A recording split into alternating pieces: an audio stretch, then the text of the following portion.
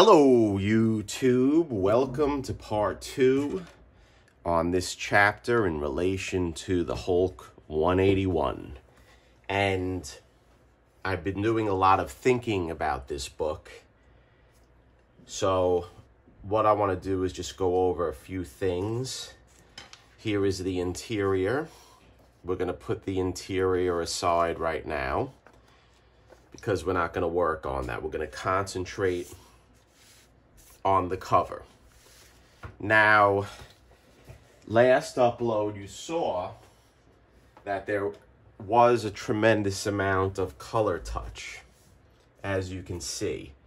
All of these bleed throughs are markers.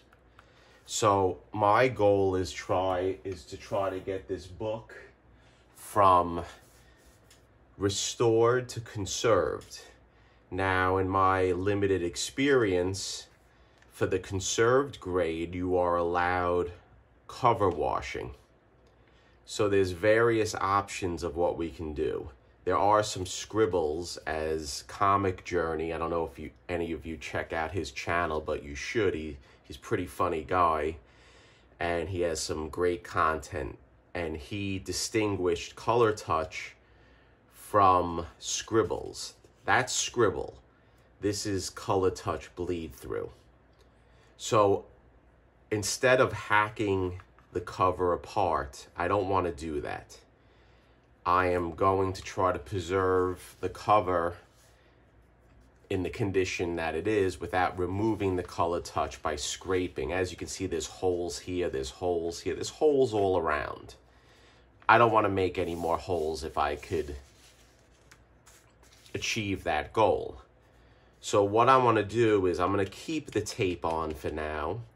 I'm going to flatten the cover and then we're going to try to use localized cleaning of different solvents and natural products to try to lighten up these areas of the color touch. We're going to do it slow and steady with different applications because if I can lighten all these areas up of color touch, remove the tape, and then then do my aqueous bath with the methyl cellulose and um, calcium hydroxide, I'll be able to lighten this up and then maybe we can try to remove areas of color touch where it won't be detected.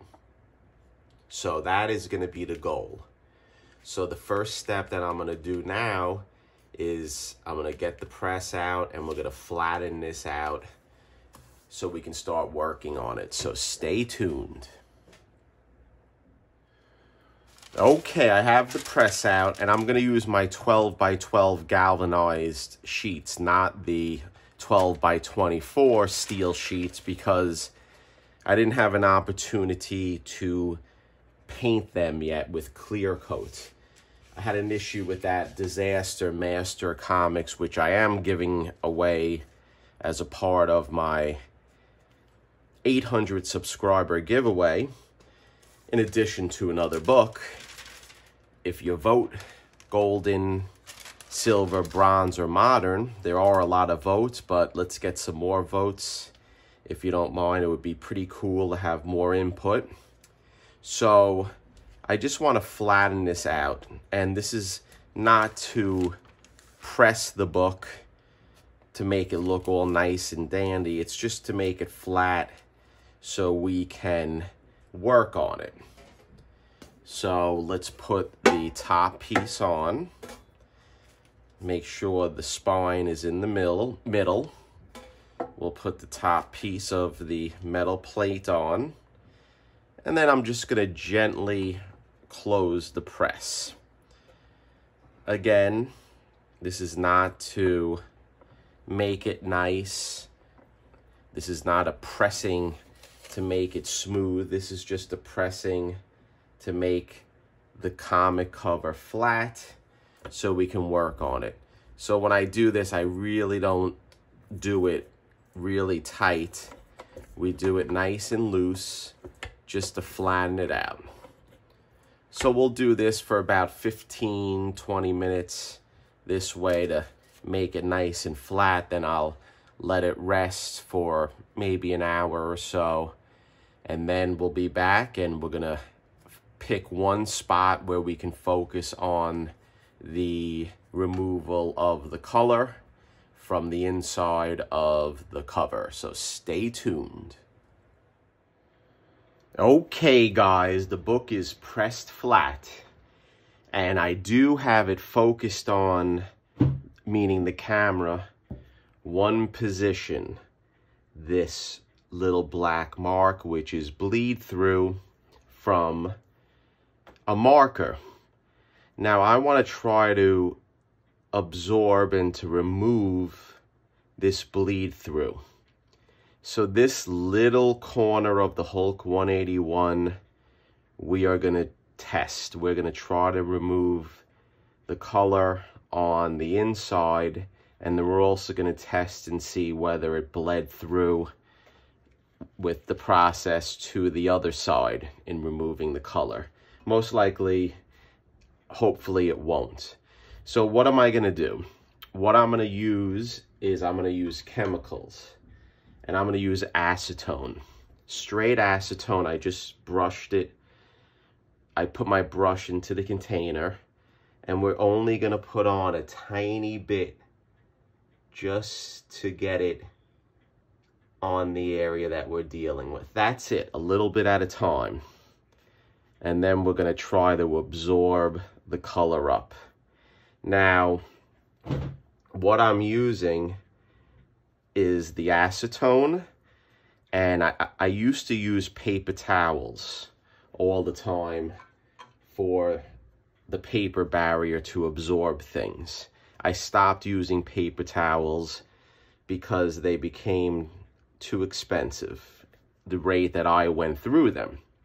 So what I thought was, what else could I use? So I was in Costco and I bought a container of wee wee pads for dogs, for puppies.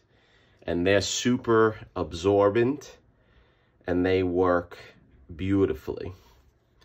So there you go. I just put a little acetone. I am getting a little black coming up. Not much though. Let's let it penetrate. And then another trick that I want to try to do is I'm putting the acetone. Let's put one more drop to get it on there. Then what I'm going to try is my good old methyl cellulose. So I am going to put a little methyl cellulose on the area in question.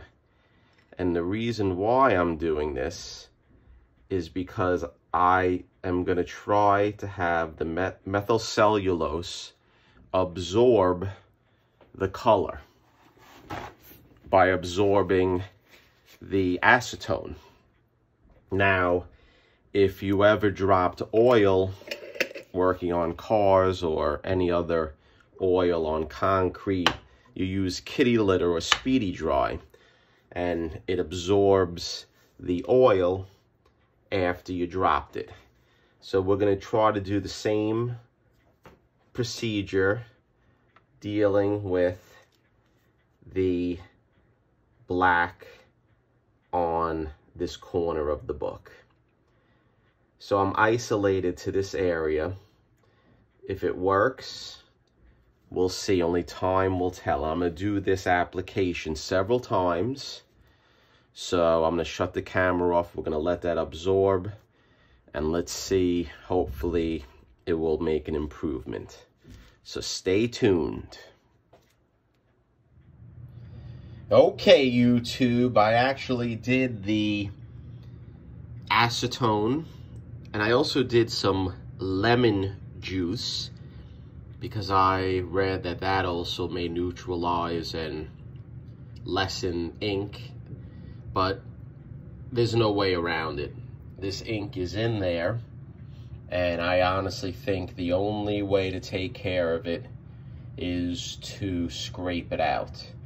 So listen, the book is not in great shape. Here's a quick scanning so you can see what we're dealing with.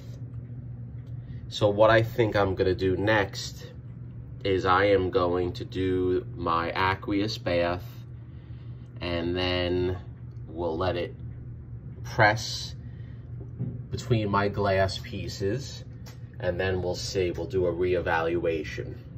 But let's see how the aqueous bath lightens this up at all. Now, I'm definitely gonna continue with my conservation. As you can see here, between Hulk and Wolverine, there's pieces missing already. So if a little bit more scraping occurred and nice leaf casting, maybe it will fill it in and it will look better. Now this is Steve's book, so if Steve is out there, let me know. So there you go.